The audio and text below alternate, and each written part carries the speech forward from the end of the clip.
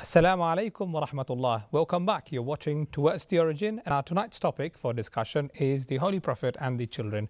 In our first segment, we have discussed about the importance of how to nurture the children, and most importantly, we have touched upon how did the Holy Prophet Muhammad deal with children in terms of how compassionate he was, how merciful he was, and how kindness, what, so what the level of kindness he had towards the children. We'll continue our discussion, and at the same time, if you do have any questions related to the topic or any suggestions, feedback with regards to the program, feel free to email us. And the email will be displayed at the bottom of your TV screen, which is towards the origin at chsuk.tv. Our respected Imam, who is the uh, who is an Imam and Khatib of the Regent's Park Mosque, is with us tonight, and inshallah he'll be more than happy if there is any suggestions or any feedback or any questions related to the topic.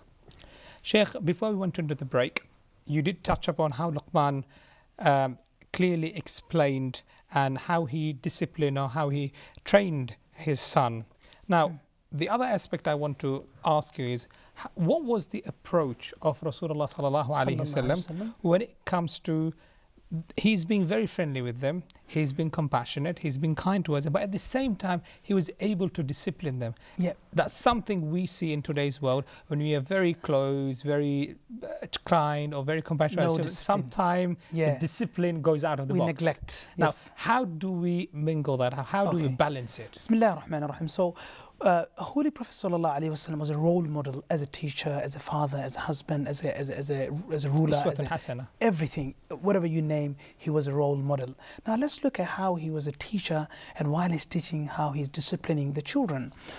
Now, uh, this hadith I was mentioning earlier that on the authority of uh, Ibn Abbas radiallahu anhu, the Holy Prophet sallallahu he was teaching, addressing uh, Abdullah ibn Abbas by saying, Ya ghulam, O beloved son, inni u'allimka kalimat. I would like to teach you some important knowledge. And then he said, ihfadillah yahfaduk. Preserve Allah, protect Allah, and Allah will protect you. What does that mean? So, meaning preserve the commandments of Allah, abide by the prohib uh, prohibitions, and abide by the commandments of Allah, and refrain from the prohibitions of Allah, and Allah will protect you. And then he says, ihfadillah tajidhu tujahak. Again, protect Allah and Allah the Almighty will be there for you. إِذَا سَأَلْتَ فَاسْأَلِ اللَّهِ And if you ask anybody, then ask Allah subhanahu wa ta'ala. The, the, the, the main point in this hadith is the how he is addressing uh, Abdullah ibn Abbas radiallahu anhu before um, starting to teach. So, Ya Ghulam, building the love and affection with, with his companion, his student Abdullah ibn Abbas. Now, of course, we all understand and we all see the mercy of Prophet ﷺ with children.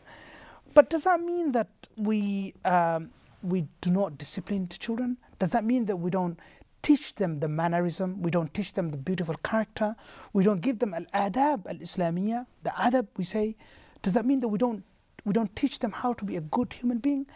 And now the issue, the definition of discipline varies from parents to parents. Mm -hmm. Some might say a little bit of harshness, some might say a little bit of strict word. Mm -hmm. The other might even go beyond that. Yes. Now, how, wh where do we make a stand? Okay, so let, first of all, let's talk about the parents who who are heedless about disciplining their children. Okay. I have seen parents, believe me, they leave their children and children do anything they like and they, they don't say anything. I mean, they break the stuff. They break, they would break the stuff, they would, they would cause like turmoil, chaos. They would go to the other people's house and they would do things that you'll be shocked to see, and parents are quiet. Um, pa parents are, are, are, are like silent. Just to put Ajib. a balance, uh, just to, I, I, understand that. Just to put a balance yeah. on it, some parents might argue if I discipline them, then the law and authorities would no, consider no, it or take it away. No, but then again, at least I can say, don't do this. Law and authority has has some. There, there's a point. There's there are some sort of discipline you can do, even according to the law. Law doesn't say that you can, you know you can't tell your child, you can't speak to them, you can't explain to them, you can't. Mm -hmm. You know, at least you can you can sometimes be slightly strong on them, and you can use the strong, uh, like you can tell them strongly that don't do that. Um, so we have seen children are left without any discipline, and that obviously again is not the teaching of Islam and the Holy Prophet sallallahu. Um, so there, there is there is bias, there is imbalance there. So let's see what Prophet sallallahu how he disciplined the children. There is a hadith in the book of Imam Ahmad rahimahullah, uh, Musnad Imam Ahmad rahimahullah on the authority of Umar ibn Abi Salama. Now, this is the disciplining. The Prophet ﷺ, how he's disciplining. So he says, كنت غلاما في حجر رسول الله صلى الله عليه وسلم. I was a small child, young boy, under the guardianship of, of, of Holy Prophet Muhammad صلى الله عليه وسلم. وكانت يدي تطيش في الصفحة.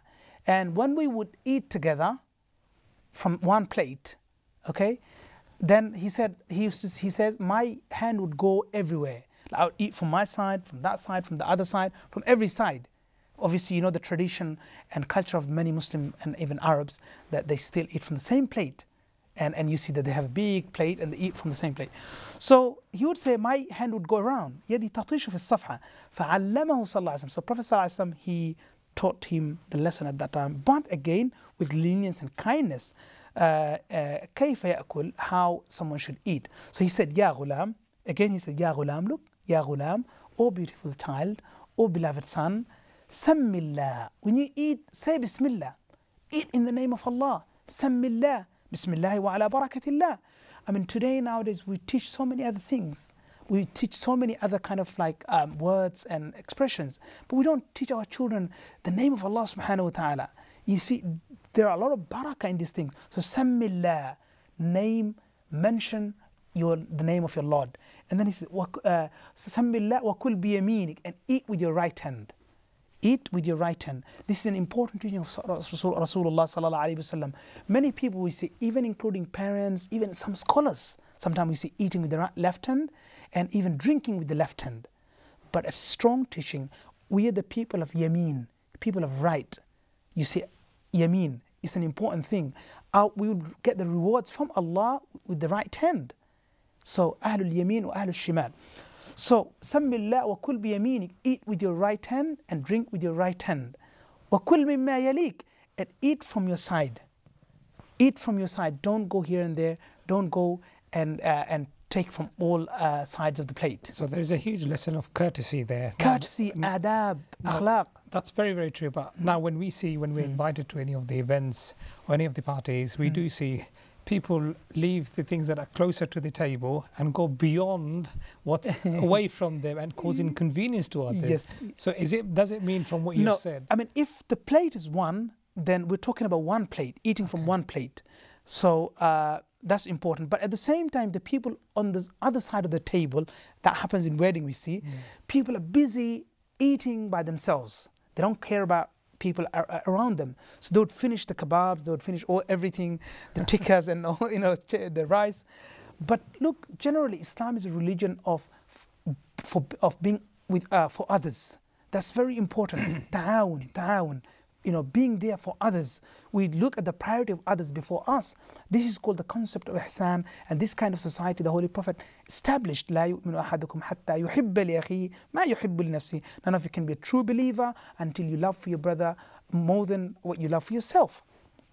Or what you love for yourself. So look at the disciplining again. So we cannot just shut our mouth and we can't say anything to our children. We see out of excessive love some fathers and mm. some mothers because they love their children so much they wouldn't say anything. Believe me, they wouldn't say anything, and they mm. would cause even like they go they'll go to the other people's house. They'll break the glasses, wardrobes, uh, everything. You know, সব কিছু ভেঙে ফেলবে ছোট বাচ্চারা এবং মা বাবা কোনো কিছু বলবে না কারণ মহব্বত অতি মহব্বতের কারণে but then again we have the other side of it mm. that the now come to the other side tried, yeah they have put their utmost effort but some still the children but some do but i must be honest some i have seen some really don't put that much efforts but but many parents do I don't mean to say they don't do, but some parents they just love their children, and they say they even say, "I mean, my children, I love them so much they can do anything they like."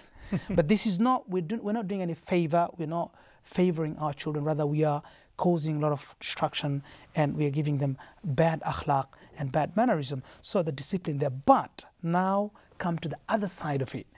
Does discipline means violence? Does the discipline means excessive heating? Does the discipline mean abusive words like swearing? Have you ever heard swearing, constant swearing from parents? To each other. আমাদের আমাদের সমাজের মধ্যে অনেক পিতামাতারা মানে continuously ধারাবাহিকভাবে তারা গালিগালাজ করে এবং গালিগালাজকে কোনো গুণাই মনে করে না যে গুনার অন্তর্ভুক্ত মনে মনে করে না Sibabul Muslimi fusuqun. Rasul said that swearing or using abusive words is fisq. It's like transgressing. It's a transgression. So swearing words, constantly abusive words, and also constantly swearing words. And we have so many different swearing words.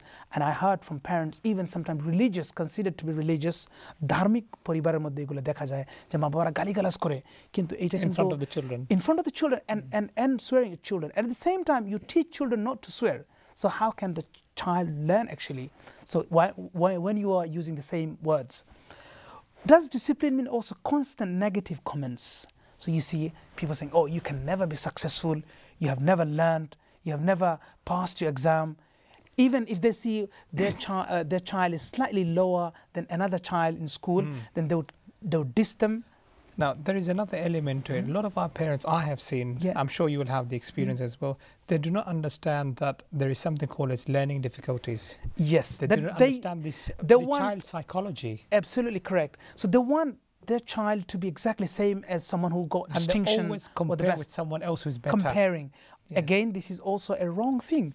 So now disciplining doesn't really mean being violent or children are being exposed to violence behavior, violent behavior, like maybe elders are fighting constantly at home, but physical fighting. But there is another element mm -hmm. to it. We do see our children are playing violent video games on the oh, computer, that's, that's, on that's, TV.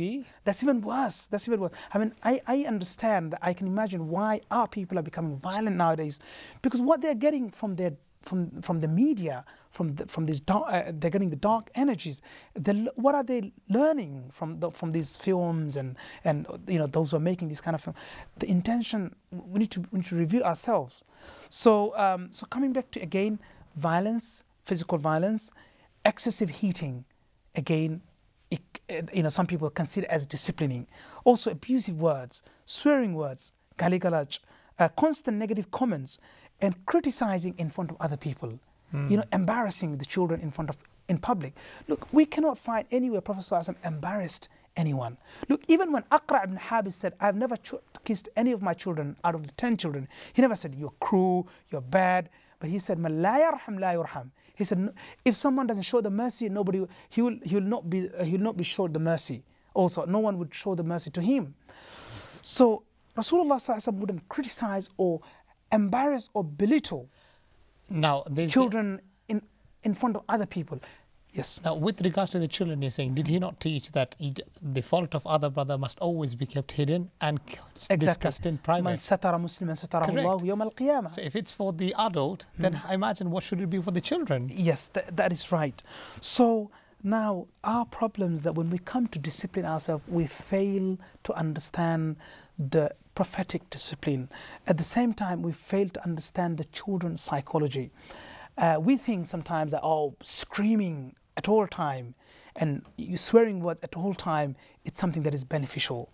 But we don't understand. When you, when you scream, then this scream becomes like normal to children. Then mm. you start using swearing words. Then there's here and, you know, it, it comes through one, one year and then it goes through, uh, it goes out through another year, the other year. So it becomes normal for them. Again, you sometimes you, you hit them, then this become also normal um, to the children. So uh, we have to be very careful that we avoid these things because children are are very delicate and they're they're they're still small, and what we do the way we behave with them, the way we, we interact, the way we speak, the way we, we conduct, that's what they will become in the future. That's very true. Mm. And then the other side of it, we know from this child psychology, it's easy for them to pick up the bad habits, habits, the very, negative attributes, very, very easy. then the positive or the good ones. And, and that's the reason why he says that the, the children who are victims of sexual abuse, uh, especially um, the, the, the, the sons, the, the boys, um, those who are sexually abused, they become also uh, perpetrators in the in the future. They become also abusers. The research shows that. Yeah, research show shows that you know they become also the abusers.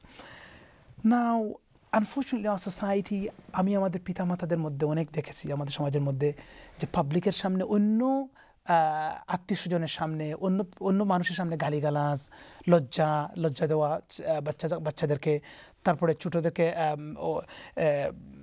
Excessively অতিরঞ্জন করা মারামারির মধ্যে তারপরে যে physical মারামারি যেগুলো আছে এগুলোর মধ্যে অতিরঞ্জন করা these are the things we always see in our society, but we have to be careful. what, as I said, the way we treat our children, that's what they become in the future. Some of the mistakes that we see uh, in our society, uh, some of the mistakes are made by parents and the relatives. Mm. So one mistake I've seen, if uh, uh if one child make mistake, then um, sorry, mainly if the eldest child make the uh, if the if if if the children make mistake, then the blame goes to the eldest one. The eldest one. Yeah, the eldest one mostly, the, or, the or, or, blaming another one for the mistakes of the other children. But there's other way as well. Mm -hmm. If a child does something wrong, the society that we live in, they will blame the parents that they couldn't actually discipline the children, whereas the parents sometimes no, no, no, what I, what I, have instilled with them. Yeah, that's true. But what I meant is that so suppose you have five children now, many parents, the mistake they make, if the youngest child or if the middle, middle child make, made a mistake, they will say, because of you, you are the eldest, you should have been role model, you should have mm. been the hmm. best one, they are doing this today. They, you're not setting the example and that's why you get the blame.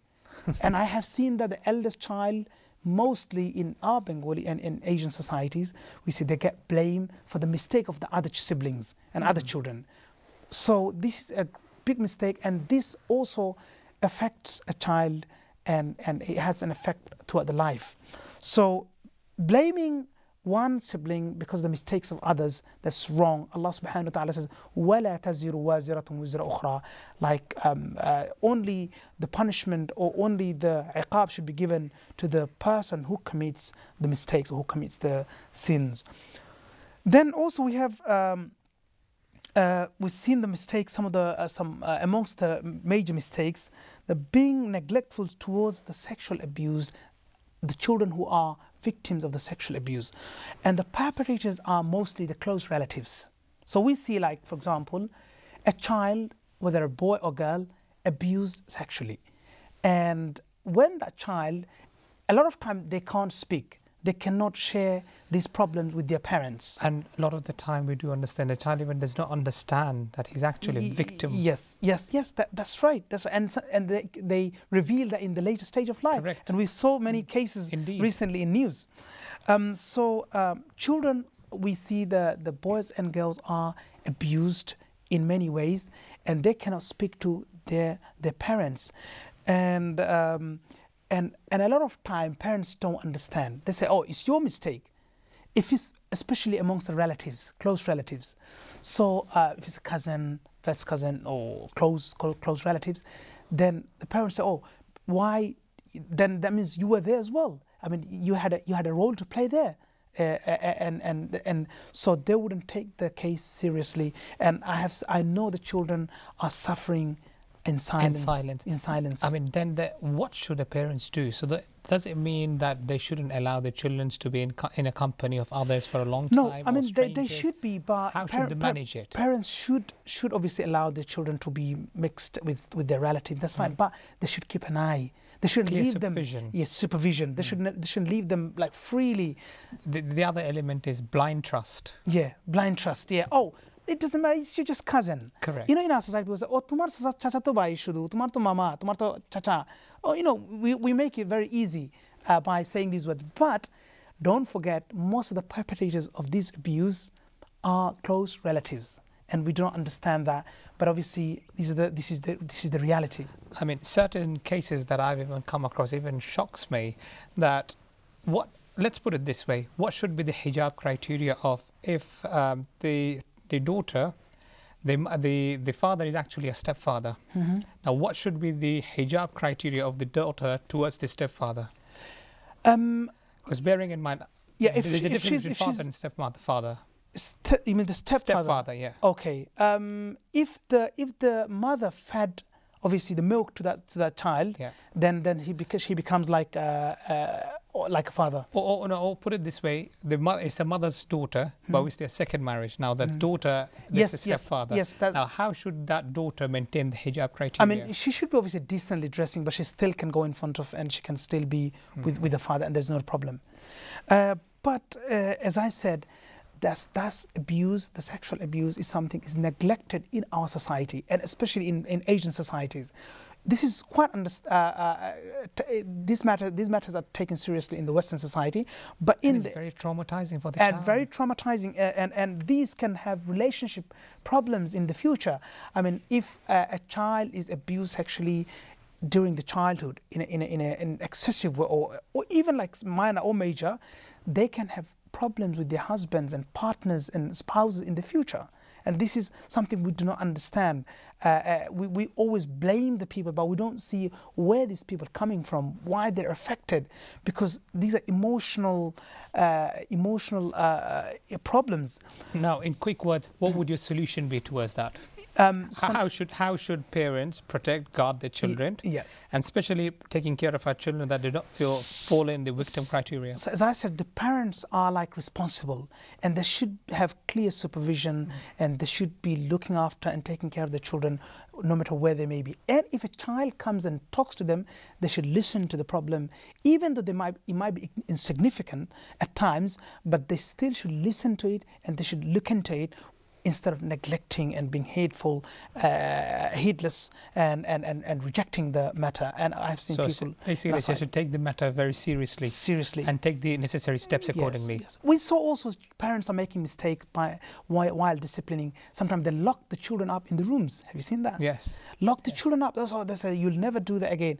And we saw also. A sort uh, of punishment. Yeah, yeah. Also, they put the children in balcony in gardens in the in the garden in balcony that you cannot come in unless you sort yourself out. These are obviously wrong way of disciplining a child because this will have a negative effects on the child. Um, also, very important um, thing that a lot of time we fulfill our anger or we, we frustration. frustration on children due to the external problems, maybe like problems between husband and wife, or problems problems at workplace, or problems in other places, business-related issues, stress, and other things. And then what happened is that everything goes on the child. That's haram, very wrong, dhulm. Because just because we are frustrated, just because we have problems, it doesn't mean that we come and exercise and we uh, become violent, we become harsh, we start swearing, we, we use abusive words and we do things which are um, ethically wrong uh, in front of our children. Uh, this is will a clear oppression, injustice, unfairness, because children are young, they cannot do much, they cannot say much, but we have to be careful because we will be questioned by Allah ta'ala on the day of judgment, even if we commit any dhulm against a child, because a child is again an important creation of Allah subhanahu wa ta'ala. And just because they cannot speak or they cannot defend or they cannot say, that doesn't mean that we, you know, do whatever we like. And also, uh, one of the mistakes I, I, forgot to mention that sometimes the parents they start beating the children, they start hitting them, they start punishing them without even questioning them what happened, without asking them like why this happened or how this happened, what was the the problem without questioning, they straight away go and they start punishing. Don't forget that punishing excessively and, and, and being abusive, being harsh, being violent, these leave a lot of social and psychological problems and the children suffer throughout the life. And the other aspect of it is if someone complains about our own children, without listening to this, our children's side of the story, we mm. start punishing them straight away just on the yes. basis of someone told something someone, to us. Yeah, that, that's true. That's true as well. And also at times people can be um, on the side of the children as well. Uh, uh, vice versa.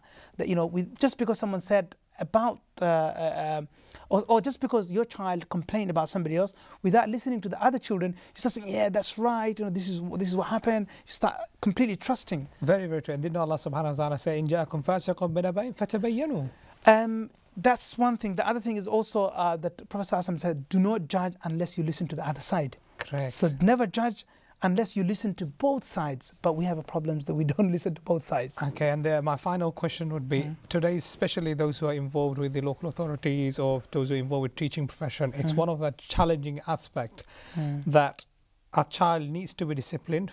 Yes. But at the same time, avoiding uh, avoiding to, or falling under the trap that they might be breaking the law. So that's now, where, how can we balance that? That's that? where that's where Islam came with two important concepts. Islam is based upon two things. Number one is sabr, and number two is shukr. sabr. Sabr is an element, it's an asset it's, it's an important asset that if someone has the sabr, then he can come he can go through many many challenge difficulties and challenges and he will be successful. Now a lot of things we do because we lack sabr we lack patience. Now once we one, once we have the patience we can deal with things more appropriately and we can deal with things gently with lenience and with kindness. And in other words those parents who have who do not have, I would rather say, who don't have a complete understanding of child psychology, Exa yes, child yes. mentality, and generally education, education itself. Yeah. So, are there training courses available, or are there I, those halaqas there for parents I to think get more? Our imams, our mashayikh, should speak much more on these kind of topics because these are real issues in our society. The children are suffering, women are suffering, elderly people are suffering. These are real issues need to be addressed by imams, by mashayikh, by, by ulama, and and that's very true. And sometimes we also hear some of, not all, very rarely, we also do hear about some of the abuses that are happening in one of some of the Darul Ulooms, but we don't yeah, even know. Yeah, yes, yes. Uh, maybe in our future episode we'll slightly touch on that, but obviously this is where the blind trust comes into the play. Yeah, yes. Um, Jazakallah khair for tonight's program. Unfortunately, I won't be able to carry on more forward. Our time is up. But inshallah, we'll continue our discussion in our future I hope episodes. the topic is clear and I hope we have learned something tonight. Jazakallah khair. Thank you very much.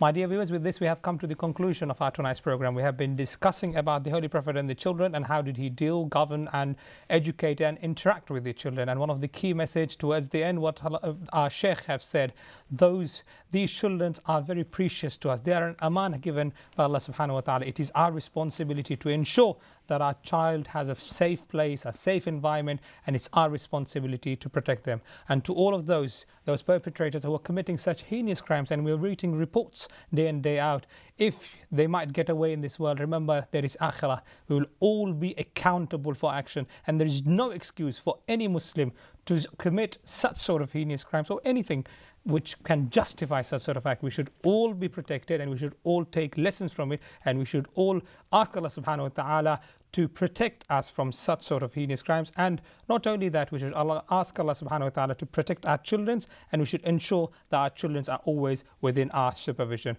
With this, I come to the conclusion of our tonight's program. Thank you very much for being with us watching the program. We hope you have found the program educational, inform informative and interactive. Until we meet next Friday, سبحانك اللهم وبحمدك أشهد أن لا إله إلا أنت أستغفرك وأتوب إليك والسلام عليكم ورحمة الله تعالى وبركاته Thank you very much, Sheikh.